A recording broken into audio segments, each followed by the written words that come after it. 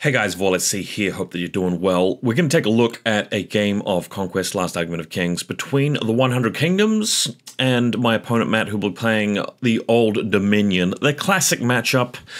Played it many times. You guys have seen our miniatures on the table on this channel many, many times. It's going to be on the scenario Forlorn Hope, and of course, our first game of the new patch, which uh, came out very recently. You might have uh, watched the bat rep I put uh, most recently on my channel against uh, Dwegum. That was a, against a newer player. I'll be playing the exact same list uh, for this one because it was at the same Auckland game Day, you know, uh, Saturday morning and afternoon games. I will say for a bit of context that when the previous patch came out and Old Dominion just went right through the roof and were just dominating, I was very salty about that because I felt like how could they you know, possibly make them that powerful and just do nothing about it for like six months. Um, I thought that was very stupid. And um, whenever I'd play against um, my buddy here, I would often lose and just wouldn't really see much that I could improve to to win. And I felt like the power imbalance was was real. And um, honestly, you know, I was quite quite salty about that. And with the new patch out, um, they have fixed a number of things. I thought they took way too long to do it, but bless their hearts, thank goodness they have done that. And that's more you can say uh, than you can say of a lot of other war games out there. So that's much appreciated. So where does 100 Kingdoms versus Old Dominion sit now?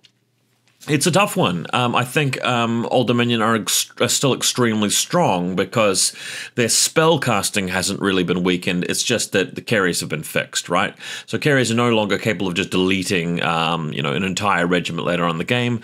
But to compensate for that, they are actually a lot, you know, fast in terms of the threat range. You can double march and shoot the the spell, so they are still very dangerous. And Archimandrites and uh, Hierodeacons could still do the same thing. They've brought in uh, Moroi now, which we'll talk about little bit later in this video. Um, so I think Old Dominion is still extremely powerful. Legionnaires are just as good as they were before, so I don't really think of them as like an easy beat. Um, and, and honestly, I think that Old Dominion are probably more powerful than 100 Kingdoms, um, if I had to guess. Having said that, 100k uh, have the Hunter Cadre buff, which is very helpful, especially in this particular matchup where you kind of want that AP1 shooting to be ripping into the Legionnaires, and you want something which has their massive, you know, scoring potential in turn two to stay up to speed with them in terms of scoring. So it's an interesting one. Why don't we um, have a quick uh, look at the scenario, and then we'll go into some army lists. So, Forlorn Hope, as you guys may know, uh, looks like this. So uh, let me just grab my thing here. You've got four zones with uh, one of them, sorry, um, uh, two of them on your side and two of them on your opponent's side. So we'll just like the first photo shows you this right off the bat here. So this is just fast forward to turn one, where um, you know you're both sort of these are all light units, but you're going to be bringing mediums on here, and the idea is just to to win one of the two flanks. Uh, and then push through to your opponent's uh, opposite circle before they do the same to you on the other side, right? Uh, there is two VPs for enemy characters, but nothing else in terms of killing enemy units, and the uh, objectives here are worth three each. So that's these things here, right? So those uh, can be killed at any time. My opponent going for his one with the acolytes, me going for mine with the uh, the crossbowmen, and and that's generally the way uh, the scenario is going to go. So, not a particularly complicated one, but if we just take a quick look at these army lists, so I am running the exact same list that you would have seen on my channel most recently against Dwegum, uh, just having a bit of a play around with the big unit of um, Crimson Tower now that it's a bit more efficient to get Olefant's Roar, and of course you can get Blessed on these two regiments here. Nothing needed for the Ashen Dawn, they just are what they are, they're still very good. Imperial Officer unlocking the Hunter Cadre with the new Steel Legion mainstays these are fine. Um, possibly better to just take shooting or men at arms, but still, it's not too expensive to get the Steel Legion, and they do crack armor pretty well. And the officer supports them quite well once you put in the brace for impact on your feet. That's all very good. Uh, so quite a cheap way of, of getting them with just a 90 point character. Hunter Cadre, great. Obviously, given the standard bearer, it's only 5 points. They're great in close combat, but uh, even better at shooting long range. They have range 18 now that the uh, mercenary crossbowmen don't, so they're probably the premium um, range shooters, especially with longbowmen still not getting the buff that they kind of need. They've got a bad warband, and uh, this is a longbows I'm talking about, and uh, just don't do damage quickly enough. Then lastly, the mage, she's still very solid with a School of Fire and Focused, very good unit. Kiss well optional, I kind of like it uh, because the game plan here is just to let them come to you and pick away at them and countercharge once they get close. So I'm I, I, like the extra punch that the mage is packing there. And the moral of the story with the new patch is that you want more regiments. It's more about order activation, even more so than it was before. So that's why I'm trying to get as many of these little regiments in here. The next list I'll be trying out will be a Noble Lord instead of Priory Commander, and I'll try and get up to about 13 cards, to be honest, because um, having the extra activations is that important. And I'm even going to be trying out this thing, Art of War, but more about that in our next bat rep with Hundred Kingdoms. For now, let's talk about the undead. So, uh, Homeboy is playing Archimandrite Warlord. It is uh, probably still considered the weakest Warlord, but it's just it starts to feel ever so more, so, uh, just feels more and more appealing because because you're going to want the Kheres and Moroi because they're very good now. Um, having the blasphemous power going on to them early game is quite uh, critical, and then you can still do the healing as the Hierodeacon lifts your uh, Legionnaires with the Dark Shepherd, heal them back and late game you've got a lot of un, unholy baptism going on. So um, there's nothing really wrong with the Archimandrite except for the fact that the other characters are also damn good. So overall, Old Dominion still have the best character lineup. It's just a little bit questionable that they can compete with some of the other nutty stuff that factions can do um, in terms of the combos, right? So you're putting the Archimandrite in the Praetorian Guard as you should. I, I love that combo. It keeps him safe, allows him to get close to use his abilities. I think that's the best thing you can do with Archimandrite. He's taking the new Legio e Primigenia, and that is totally changed. It used to be the Aura of Death uh, godlike um, banner, but now it just permanently makes you count as one higher for Dark uh, Dark Power, which is great for Praetorian Guard because they are one of the things in Old Dominion that makes use of Memories of Old the most. So you want to get, you're starting at tier two, you always get Bastion as a draw event, and then you quickly get to tier uh, three effectively with the Archimandrite's uh, banner, and that way you can get their defense up to defense five to keep the Archimandrite alive, and he's healing the back. It's just a great combo, very solid, and I expect we'll see this a lot. Hierodeacon with the cultists, that's pretty cool. Gets them on the table early, allows you to cast Dark Supplication. Uh, love it. Centaur Kerykes, they might be a little bit too expensive for their points, but I think more place testing is needed, especially in the new patch. Um, their memories of old just doesn't really give them very much, and that's sort of a drawback. I feel like if they could get something in addition to Sure Shot at um, at the extra um, dark power level, that'd be great. Like, I wouldn't mind seeing them go up to 200 points, but the Memories of Old gives them sure shot and plus one volley. Because then um, at tier two, you're draw eventing up to volley three, and um, I guess I suppose at, at, tier three, you know, you're going to be aiming rather than double downing on it. So you might not even need the points increase in that case. It's probably fine to give them something like that. Bucephaloi, uh, still not the best, but you know the models are cool at least. They kind of need a little bit more. They got tenacious, I believe, but they didn't get hardened, so they're still very beatable. But uh, I love the incremental buffs that that they uh, are giving to certain units.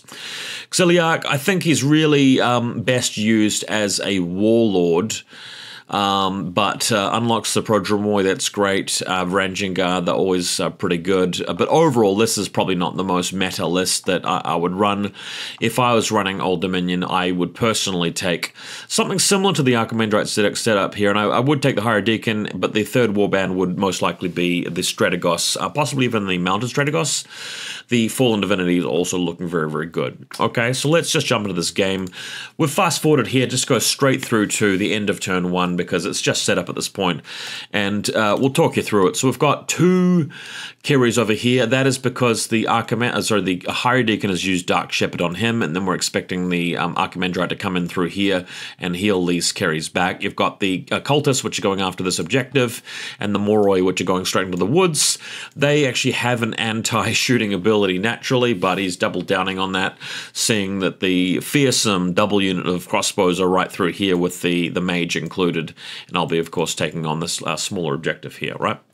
So let's get on with it. Uh, turn three, we're bringing on the Hunter Cadre. We're bringing them on last. I want to see where his deployments are before I triple march them onto the table. They do have Vanguard with the Imperial Officer in this list, so that's a full, I want to say 19 inch move medium scoring, very, very powerful. As predicted, uh, Archimandrite comes on the board, Praetorian Guard uh, escort. You can see he's on the right hand side of this unit facing towards my line because he wants to keep the range close enough onto the Kheres to heal them, but also close enough to the, to the Moroi on the left to, to give them blasphemous power. For me, seeing where the Moroi are, I'm bringing over the men at arms onto this left hand side just to creep onto this objective uh, opposite the Kheres. I feel like he might have misdeployed the Kheres a little bit because that house is in the way. The Kheres are just so dangerous against this Hundred Kingdoms style because they're going up against Resolve 2 units. They can get a lot of damage done. So over here, Kheres, um, they I believe I believe being healed, or maybe this is the shot from the cultist onto the objective. Wasn't quite sure.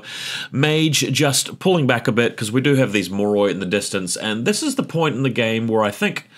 I will talk about Moroi a bit more. You can see uh, quite clearly that's the Moroi unit in the forest, and there's a long distance between them and the mage, and both regiments would love to attack each other, but when my opponent explained to me, and I look, I should have already known this, but when my opponent explained to me that Moroi have a, a, free translocate now of 8 inches, and that you can potentially translocate first and then charge and then clash giving them effectively 14 inches move plus d6, which means that it's 15 inch guaranteed or up to 20 if you want to risk the roll.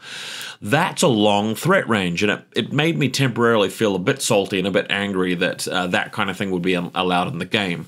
It's like you hear about Parabellum talking about how they, you know, they don't want people to activate more than three times, and they want to restrict that, and they're not letting you do this and that with W'adrhun, with too many sort of rushing across the board and killing you.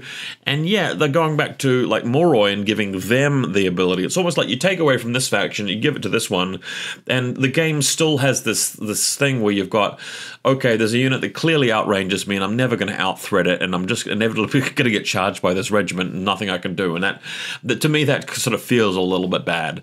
Like I, I would have preferred some other way of buffing Moroi other than that.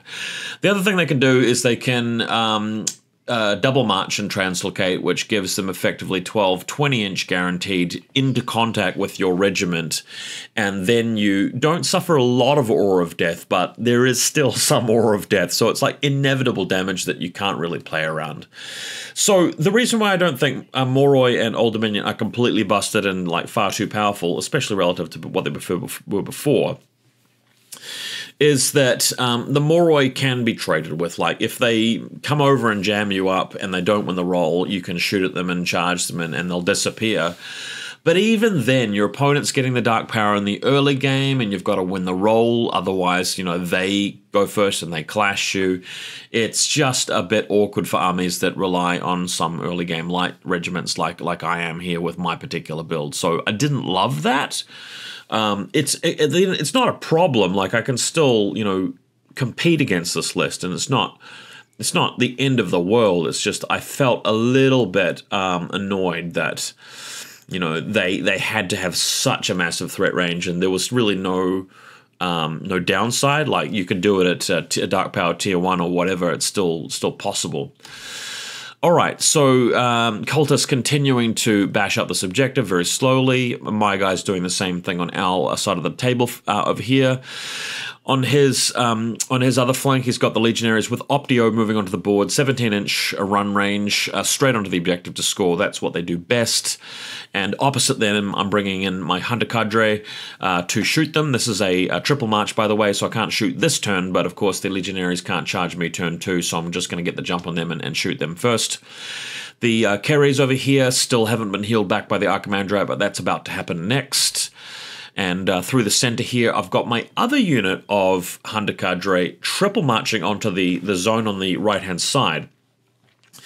And I have to explain that the reason why things have developed this way is that my opponent activated his Moroi a little bit too early. This is not a problem with Moroi. This is just a decision here from my opponent to have his Moroi card fairly early into his card stack, command stack in turn three, meaning that I didn't have to uh, perpetually worry about being zoned out. I was able to triple march these guys up into the zone to collect the points, which is important, knowing that if he wins the roll, he can just trade his Moroi for my uh, Hunter Cadre, which I was actually okay with, all things considered.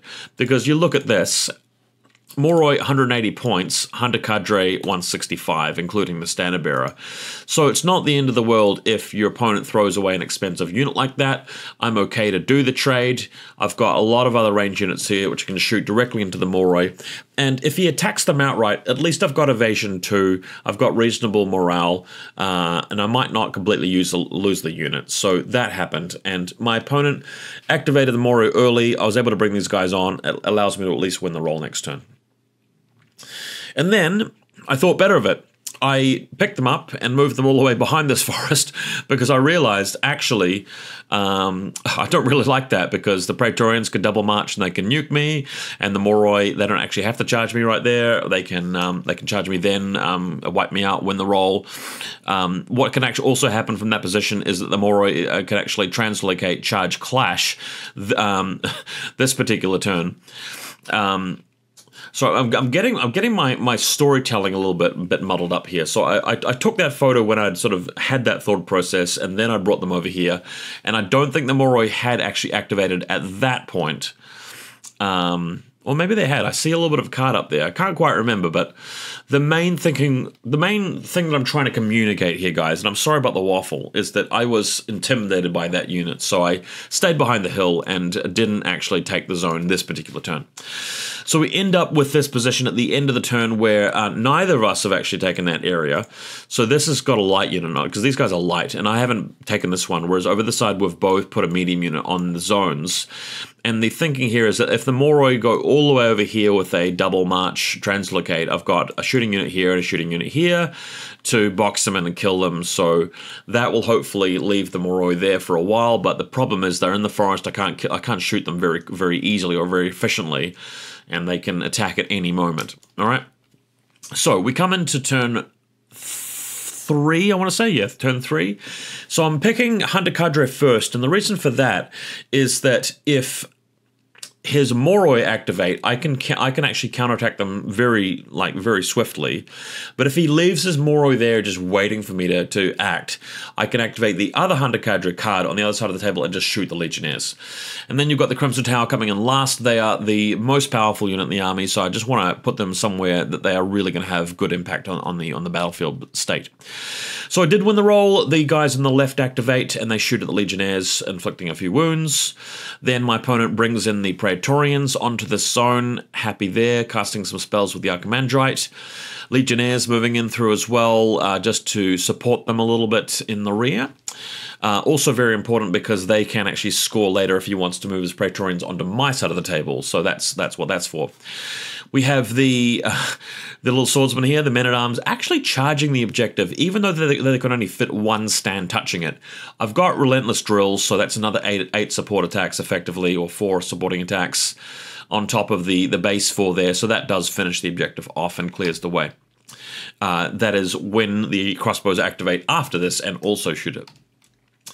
Right, so we have a picture of the Moroi here. What are they doing? I think that he decided to just pull back, seeing my little trap in place. And uh, I think that's a smart move because I hadn't activated the crossbows and the mage at that point. So that if he does translocate and double march over there, then I still have everything else to just, um, you know, attack that unit with, and it wouldn't have been worth it. So he decided to just pull back.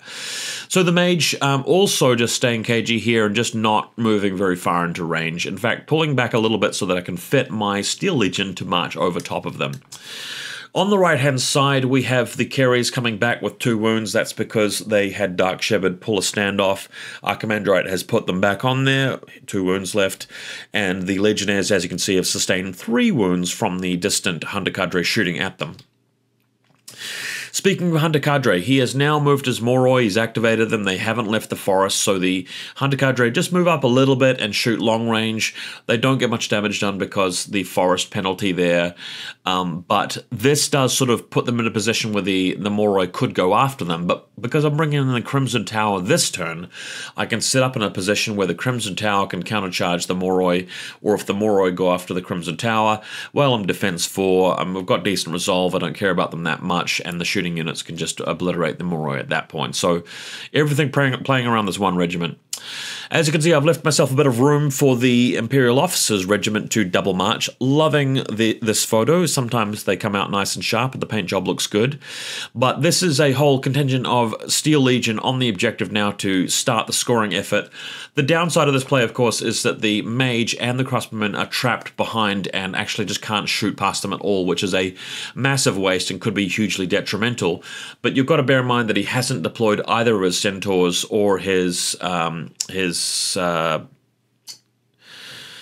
undead minotaurs, what are they called? Bucephaloi. All right, so if he brings in any of those regiments on this side of the table, I can at least shoot over the Steel Legion. Otherwise, I'm just going to have to move one of these units out of the way.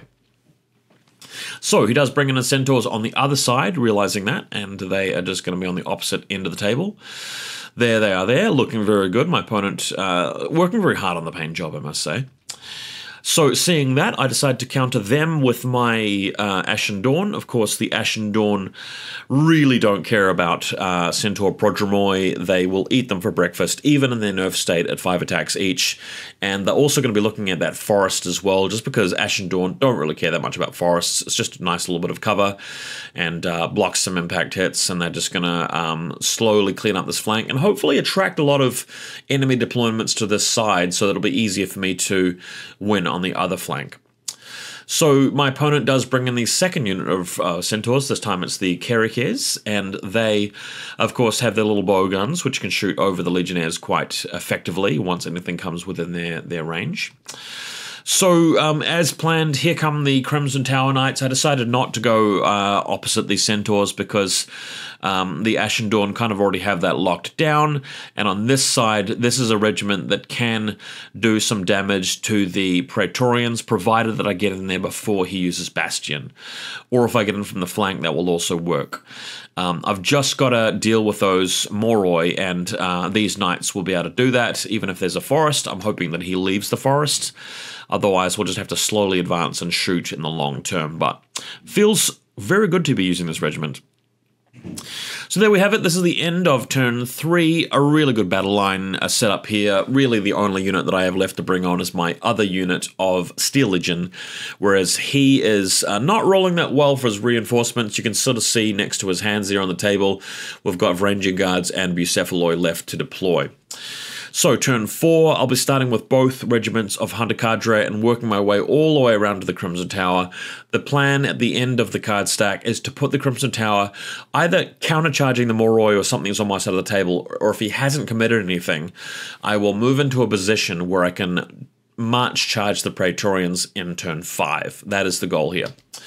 All right, so another zoomed out view of the battlefield, and we're going for the dice roll. Who is going to win it? Well, my opponent does.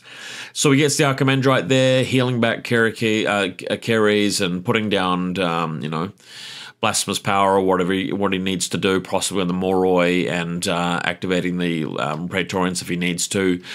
Then on my side, we have the Hunter Cadre shooting at the Moroi, expecting them to try and attack at this point. We almost did enough damage to remove a stand, but not quite, so they are fully operational. And then my opponent makes this play where he translocates and he march charges into the uh, sorry, he translocates and charge clashes into the Steel Legion which is sort of like the play we were waiting for. And, and, and this is a good uh, way to illustrate why Moroi aren't completely busted. And uh, my, my being salty about them was really just hearing about their ability for the first time. I think they're still very, very good. You have to find the right opportunity to play them well. But in this situation, they're going up a, against a unit which just has your basic defense three, but has oblivious and reasonable um, resolve. And this is a regiment that I can afford to lose, and I can easily, uh, efficiently counterattack onto the Moroi without committing anything else.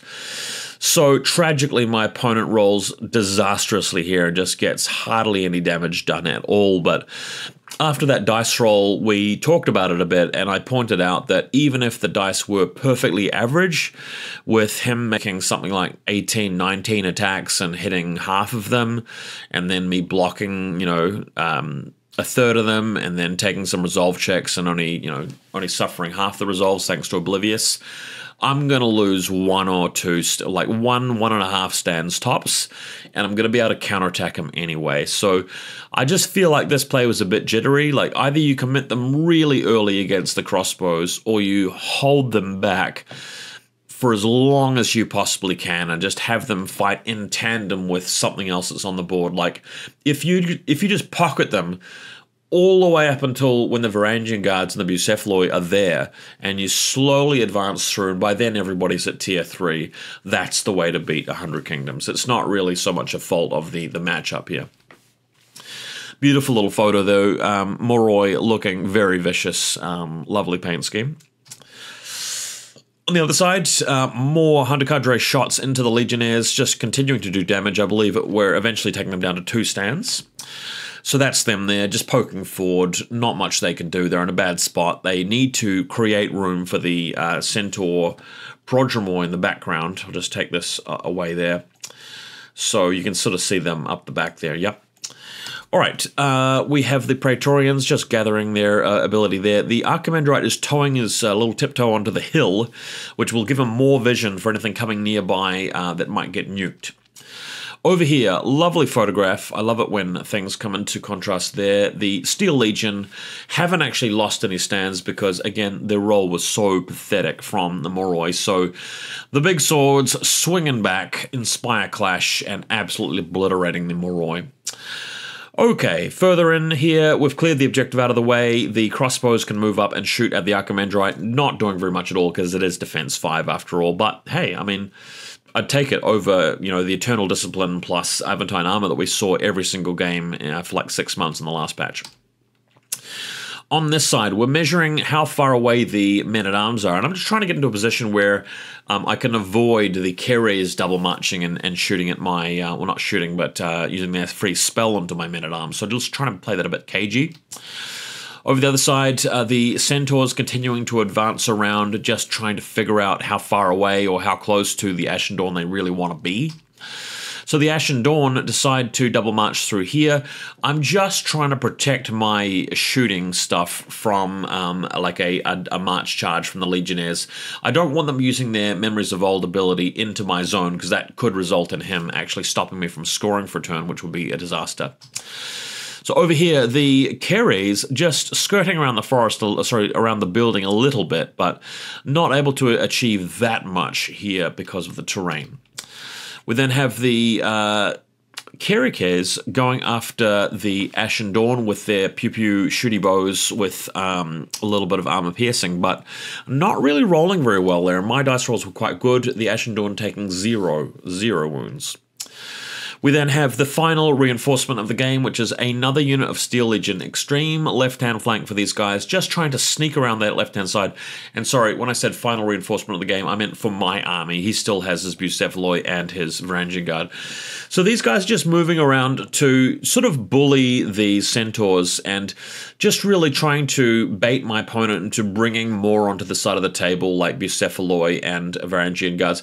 If he put both of those regiments on this side, it's pretty clear that I'll be able to beat him on the other flank and start scoring more quickly than he can actually box my units in over here because his stuff would be too slow.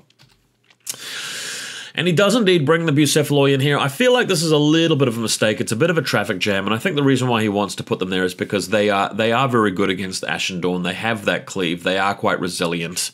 So in the long term, you should be able to chop the Ashen Dawn down. But that they're also very good against Crimson Tower Knights. So I don't know if I if I personally would have deployed them here, but you also have to protect your objective as well from the Ashen Dawn uh, just marching all the way through.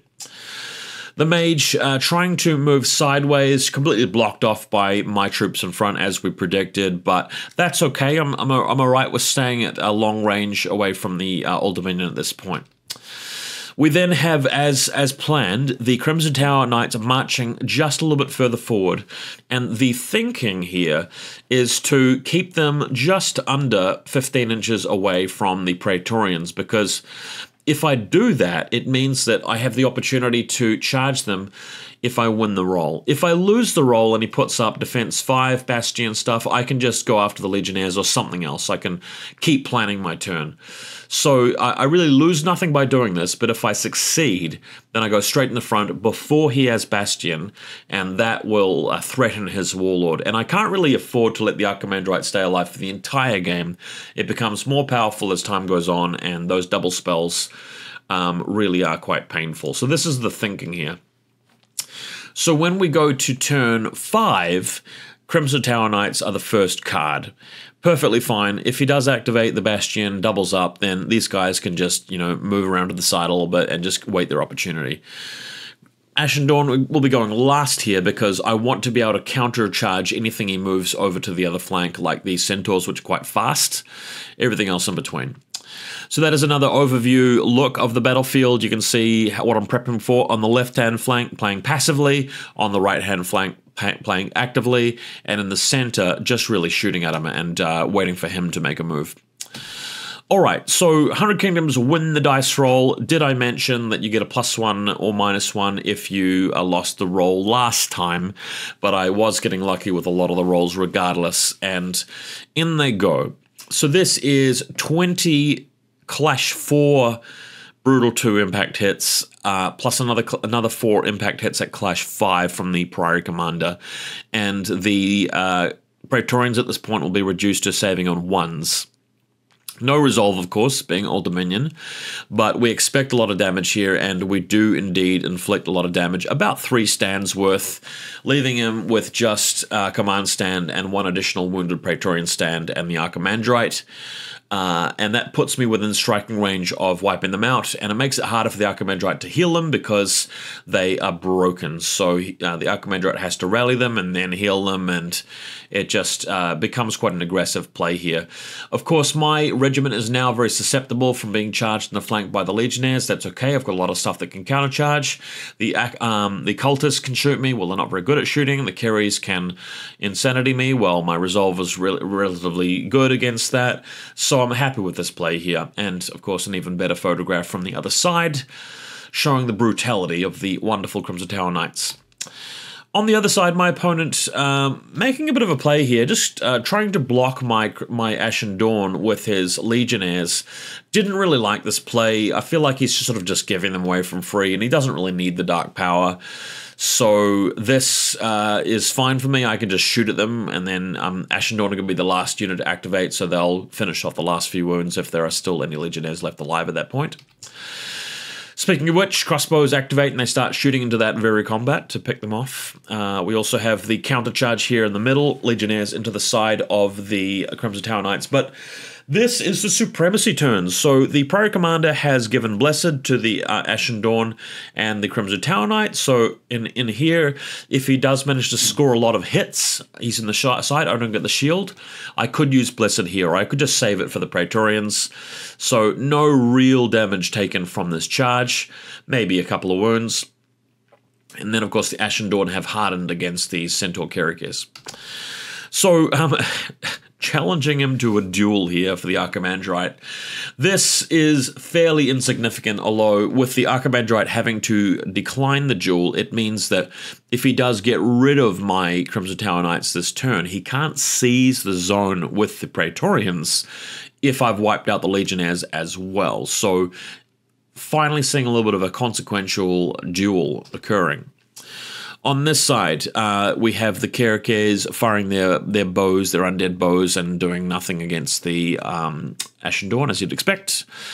Over here, we have the Archimandrite rallying his unit of of boys and nuking my guys with a spell or whatever he did. Um, I can't quite remember what the the the uh, sequence of events of this turn was, but love the photo.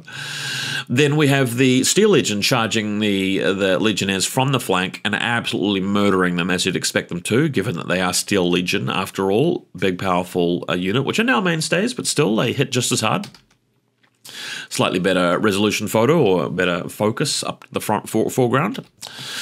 Then, uh, with a little bit of uh, space having been created, we can move forward with the mage. And what's going on here is that I'm getting the opportunity to take this area of the mage, like if that's the front of, of her base, we can trace a line between that and the corner of the Legionnaire base here.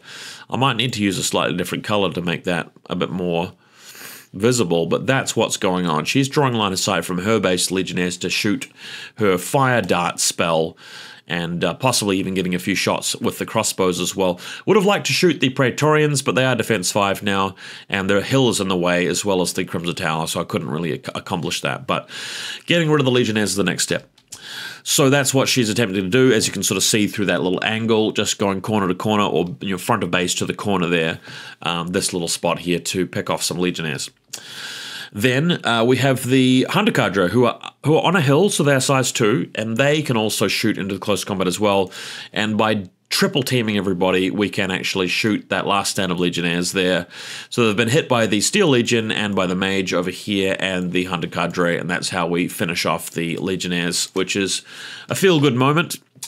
We have the. Uh, cultists, they are in range to throw a few bombs at the Crimson Tower Knights, which somehow manages to do some work, actually doing some wounds to them, which is quite kind of annoying.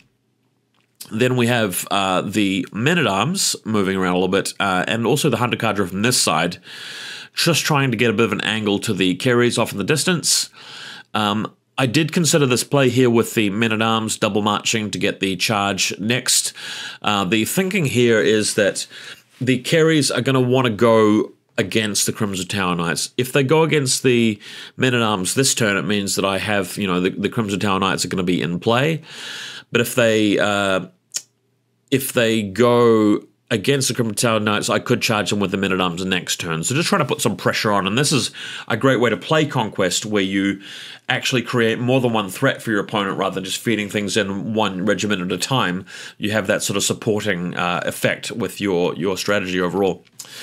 On the left here, we're continuing to move up with the Steel Legion on this side, just really wanting to get into a position where he he um, he double marches or march charges with the Centaurs um, so that I have the chance to maybe win the roll and and and beat them up in close combat. I feel like the Prodromoi won't be able to completely wipe me out, so I should be able to hold them down with this regiment for a little bit longer, if not completely uh, win the fight against them if I get the jump on them. Bucephaloi now um, creating this traffic jam where unfortunately the the horse archers can't really shoot through them. I feel like Sure Shot should let you shoot through your own units, but doesn't do that. So the Bucephaloi have to move through them onto the zone, otherwise he can't score from the zone. Great looking miniatures though. Ashen Dawn have completely removed the Legion as at this point, so it's now going to be a standoff between the the big bull cows that are undead and the Ashen Dawn, which have still taken no damage whatsoever. And they've also moved sideways a little bit to make room for the uh, Hunter Cadre, which do have Fiend Hunter, and that will mean that they are a little bit more effective against those Bucephaloids, so that'll put a bit of a timer on my opponent trying to do something with them, hopefully just running straight into the jaws of the Ashen Dawn. Uh, and that's hopefully the way we can overcome them on this flank. Righty, so first regiment is going to be the Priory Commander to uh, challenge the Archimandrite to a duel, and then the Crimson Tower Knights to hopefully finish them off. But my opponent wins the roll finally, and uh, also you can see in the background he's brought in his Varangian cards in that last turn as well. But he wins the roll. He um, is using his supremacy to get the absolute blasting effect spell onto me, and uh, wiping out the last of my Crimson Tower Knights. Unfortunately, the Priory Commander does get his free attack, but doesn't do enough damage because, again, the Archimandrite has healed his own unit and then nuked my unit. So that didn't quite work. That allows him to charge the Steel Legion over here. Uh, which brings the fight to me a little bit and creates a bit of space for his Varangian guards to camp that zone. So over here, that does give me the opportunity to attack as Kheres because my first cards were going to be the knights. They uh, were deleted before they could activate. I go straight down the stack into the men-at-arms, which can charge the Kheres, do a stand worth of damage. That's brilliant because the Archimandrite is now out of range to, to heal them. And these little humble plebs here will uh, tie down the center of the table for a while just slowing down this particular position so that the rest of my shooting contingents, all of my crossbows and hunter cadre can just mow down the last of those Praetorians and then deal with the Varangian guards from long range, which is the safe, safest way to deal with Varangian guards, to be sure. Over here, the hunter cadre unleashing a devastating volley into the Bucephaloi, who have Tenacious now, but I have Fiend Hunter, so stripping them of a number of wounds already. On this side, he's trying to see if he can get the horse archers uh, shooting into combat against the men at arms, because the Bucephaloi are blocking his line of sight through to the to the uh, Ashen Dawn. So just trying to plink off a few shots into the the men on the left. On the right hand side, the Hunter Cadre moving in to shoot at the Praetorian Guards at effective range, close range, uh, without shields, doing some more work onto them from that spot. Um, over here, we have the cultists barraging the men at arms, doing some work onto them, leaving me with just one stand left, but still, he has slowed down. Uh, in fact, I think what happened here is the Kheres were having a go at them, and then the cultists had a go at them, so eventually wiping them out. But on this side, we have the crossbows moving up to continue shooting at the Archimandrites unit. Every volley is just doing work here, and we're eventually able to take them out once the Steel Legion activate and uh, chop down the last remaining stand there. Um, he is defense five, but I do go down to. Sorry, I think he's defense four in this case because he had to charge me in this particular turn. So, chopping him down to defense two to finish him off. My opponent, um, just trying to make something happen here, he's decided to march charge the Steel Legion. I feel like this is just a little bit of the game winding down now. It's just like you you probably don't want to do this, but he he wanted to be able to attack the Ashen Dawn with the Bucephaloi without these guys going in the flank, so he decided to, to tie me up here. But the Steel Legion haven't activated yet, which is sad. So now that they do activate, they have a full 13, what is it, 16 attacks at Clash 4 or Cleave 2 to absolutely chop the legs off the um, the Prodromoi, sadly. All right, over here, the Varangian Guard um, are screened off by my last remaining um, Steel Legion, who have literally just one wound left in the regiment. But I have two crossbows, the Mage with Fire Dart, Kiss Farewell, and a Hunter Cadre regiment, and they're all starting to bombard the, the Varangian Guards there, so that's not going to last long. On the side, um, I have gone in here uh, against the Bucephaloi. There's just, um, well, there's three stands, but one of them's taken four wounds. And this is the point in the game where we pretty much called it because uh, the Varangian Guards aren't going to last very long against um, three shooting units and a mage and then I have the Hunter Cadre to score on that side of the table. And on this side of the table, he's just lost his Centaur, Centaur. He's up against Ashen Dawn with Bucephaloi, and the Ashen Dawn are sort of favoured here. Plus, they've got units behind them to keep shooting, and nothing's really moving very fast in the centre. So that was it. It was a convincing win to 100 Kingdoms, but I don't feel like this is particularly indicative of the matchup. My opponent um, was trying out a few new things, which uh, I don't think really represented the best synergies that 100 Kingdoms can really pull off. The dice did go my way in terms of reinforce, uh, sorry, well, reinforcement rolls it did, and the uh, supremacy rolls also uh, went well. And I think my opponent just really made a, a few positioning mistakes uh, and timing mistakes in, in terms of when to attack, like moving a unit in without any support, letting it die, running out of cards, makes it a bit easier for me to win late game. I am concerned about um, Old Dominion. I am worried about, again, facing off against the Strategos, where it's sort of like you got a free reform on that crucial turn. The banner that gives you plus one dark power level, I think it's going to be a, pretty much a staple in, in Old Dominion. With Bucephaloi becoming a little bit better and, and Fallen Divinity becoming a little bit better, I think you'll see them on the field a bit more. But um, right now, I suspect it still is Strategos best list, and you definitely want to go lots of spellcasters. Archimandrite, you want to go um, uh, Hierodeacon, take the Moroi, take the Kheres, take Cultist Legionnaires. Legionnaires still very strong, and possibly um, uh, Kanephors as well. Bone Golems still nothing wrong with them. I feel like Bone Golems are almost better now that the Aura of Death thing has changed because if you chop them down to like one stand left, they can still maximize their Aura of Death capabilities. So that's going to be a powerful one in future. And uh, some of the stuff that was very good against Old Dominion, like some of the uh, W'adrhun shenanigans, like slingers with Flint Napper and triple activation, that doesn't work anymore. So it's going to be an interesting patch. I think the game is overall better, but we shall see. Really enjoying it so far, and uh, looking forward to sending you guys some more bat reps.